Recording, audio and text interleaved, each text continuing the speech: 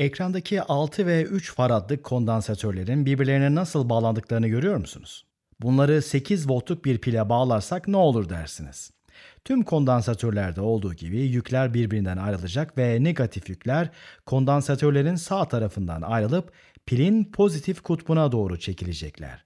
Diğer tarafa ulaştıklarında ise ilginç bir şey olacak. Yükler devre üzerinde bu yol ayrımına geldiklerinde 3 ve 6 faradlık kondansatör arasında bir seçim yapabilirler.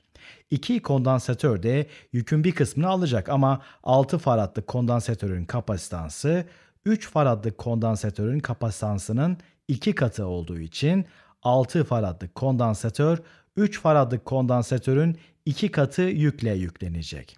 Aynı mantıkla 6 faradlık kondansatörün sağ tarafından 2 misli pozitif yük çekilip sol tarafından da 2 misli negatif yük birikecek. 6 faradlık kondansatörün 2 katı fazla yükle yükleneceğini ama bu kondansatörlerin tam olarak ne kadar yükleneceğini söyleyebilir misiniz? Bu devreler biraz karmaşık görünseler de kondansatörlerin ikisi de pilin kutuplarına doğrudan bağlı oldukları için yükleri bulmak oldukça kolaydır. Bu 6 faradlık kondansatörün pozitif tarafının pilin pozitif kutbuna, negatif tarafının da pilin negatif tarafına bağlı olduğu anlamına gelir. Bu sayede 6 faradlık kondansatörün üzerindeki voltaj pilin voltajına yani 8 volta eşit olur. Aynı durum 3 faradlık kondansatör için de geçerli ve bu kondansatörün üzerindeki voltaj da 8 volt. Kısacası kondansatörlerin bağlı oldukları şekil 8 voltluk pile doğrudan ve tek başlarına bağlıymış gibi davranmalarını sağlıyor. Kondansatörler üzerindeki voltajı bildiğimize göre kapasitans formülünü kullanıp yükün ne kadar olduğunu bulabiliriz. 3 faradlık kondansatör için 3 faradlık kapasitansı 8 voltluk voltajı formüle koyduğumuzda 3 faradlık kondansatörün yükünü 24 kulon olarak buluruz. Aynı hesaplamayı 6 faradlık kondansatör için yaptığımızda ise 6 farad ve 8 voltu yerleştirdikten sonra yükü 48 kulon olarak buluruz. Bakın az önce de söylediğim gibi 6 faradlık kondansatördeki yükün 3 faradlık kondansatördeki yükün 2 katı olduğunu görüyorsunuz değil mi? Bu şekilde bağlı olan kondansatörlere paralel bağlı kondansatörler deniliyor. Kondansatörlerin paralel bağlı olup olmadıklarını anlamak için pozitif ve negatif taraflarının bir tel aracılığıyla doğrudan birbirlerine bağlı olup olmadıklarına bakabilirsiniz. Şimdi de paralel bağlı bu kondansatörlerin yarattığı etkiyi yaratacak tek bir kondansatörün nasıl olması gerektiğini inceleyelim paralel bağlı kondansatörlerin kapasitansına eşdeğer kapasitansı bulmak için kapasitansları birbirlerine eklememiz yeterli. Gelin ekrandaki kondansatörlere bir göz atalım. Pozitif tarafları bir telle birbirine bağlı olduğundan tüm bu pozitif tarafları birleştirip tek bir pozitif taraf elde edebiliriz öyle değil mi? Aynı şekilde negatif tarafları da birbirlerine bağlı olduğundan bunları da tek bir negatif taraf olarak birleştirebiliriz. Aslına bakarsanız paralel bağlı kondansatörleri birer büyük kondansatör gibi düşünebiliriz. Bu noktada kondansatörün kapasitansının kondansatör plakaların alanıyla doğru orantılı olduğunu hatırlamak istiyorum. Ve toplam kapasitans için elimizdeki kondansatörlerin alanlarını birbirlerine eklediğimiz için tekil kapasitansları toplamamız yeterli olacak.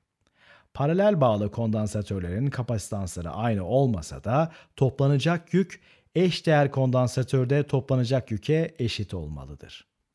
Eğer bu kondansatörler 1 kulon, 2 kulon ve 3 kulonluk yük depolayabiliyorlarsa eşdeğer kondansatörleri 6 kulonluk yük depolayabilir.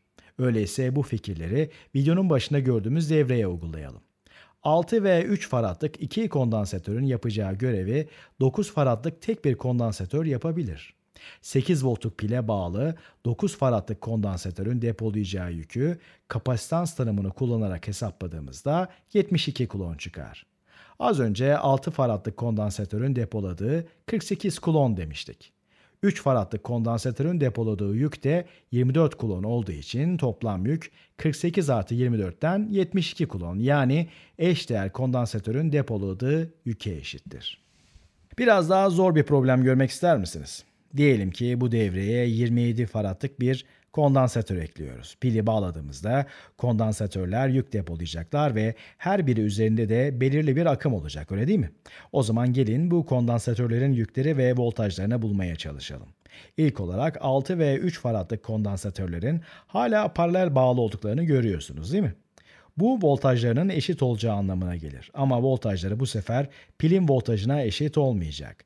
Çünkü negatif tarafları pilin negatif kutbuna doğrudan bağlı olmasına rağmen pozitif tarafları pilin pozitif kutbuna doğrudan bağlı değil ve pille aralarında buradaki 27 faradlık bir kondansatör var.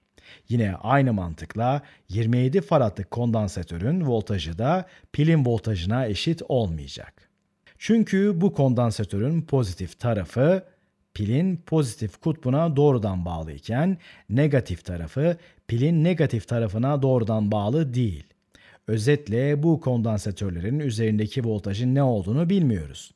Dolayısıyla bunu bilmiyorken kondansatörlerin yüklerini nasıl bulabiliriz ki? Gelin bildiklerimizi gözden geçirelim. Öncelikle devre üzerindeki voltajın 8 volt olduğunu biliyoruz. Kondansatörlerin voltajlarını bilmediğimizde bir kere daha hatırlatmak istiyorum.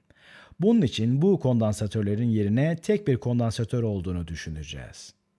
İsterseniz paralel bağlı olan 6 ve 3 faradlık kondansatörlerle başlayalım. Paralel bağlı kondansatörlerin kapasitanslarını toplamamız gerektiğini bildiğimiz için bu ikisinin yerinde 9 faradlık bir kondansatör olduğunu düşünebiliriz. Bunu yapınca gördüğünüz gibi seri bağlı biri 9, diğeri de 27 faradlık iki tane kondansatörümüz oldu. Seri bağlı demek bir kondansatörün pozitif tarafının diğer kondansatörün negatif tarafına bağlı olması anlamına gelir. Ve seri bağlı kondansatör formülü kullanarak bu iki kondansatör yerine geçen eşdeğer kondansatörü bulabiliriz. Bu formül 1 bölü eşdeğer kapasitans eşittir 1 bölü birinci kondansatörün kapasitansı artı 1 bölü ikinci kondansatörün kapasitansı. Bu formüle 9 ve 27 faradı yerleştirdiğimizde 1 bölü eşdeğer kapasitans 0,148-148 olur.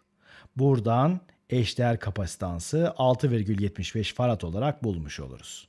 Bu 9 ve 27 faradlık kondansatörler yerine bir tane 6,75 faradlık kondansatör kullanabileceğimiz anlamına geliyor. Son olarak 6,75 faradlık kondansatörün yükünü bulmak istediğimizde kondansatörün pozitif tarafının pilin pozitif kutbuyla negatif tarafının da negatif kutbuyla doğrudan bağlı olduğunu göz önünde bulundurarak 6,75 faradlık kondansatörün voltajının pilin voltajıyla yani 8 voltla aynı olduğunu söyleyebilir. Hatta kapasitans tanımını bir kere daha kullanarak 6,75 faradlık kondansatörün yükünü 54 kulon olarak hesaplayabiliriz. Bu seri bağlı iki kondansatörün kapasitansı olduğu için seri bağlı kondansatörlerin her birinin eş değer kondansatörün yüküne sahip olmasını yani 27 ve 9 faradlık kondansatörlerin yüklerinin 54 kulon olmasını bekleriz. Kondansatörlerin voltajlarını da aynı şekilde kapasitans tanımını bir kere daha kullanarak hesaplayabiliriz. Formülde 27 farad ve 54 kulonu kullandığımızda 27 faradlık kapasitörün voltajı 2 volt, 9 farad ve 54 kulonu kullanarak da 9 faradlık kondansatörün voltajını 6 volt olarak buluruz. 6 volt ve 2 voltun pilin voltajına yani 8 volta eşit olduğunu fark ettiniz değil mi? Sıra 3 ve 6 faradlık kondansatörlere geldi.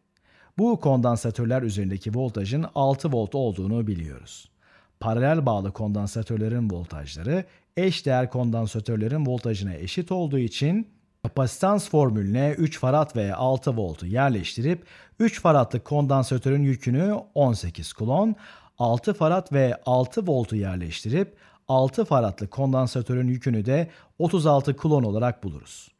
18 kulonla 36 kulonu topladığımızda 9 faradlık eşdeğer kondansatörün yükü olan 54 kulon bulduğumuz için bu sonuç oldukça mantıklı.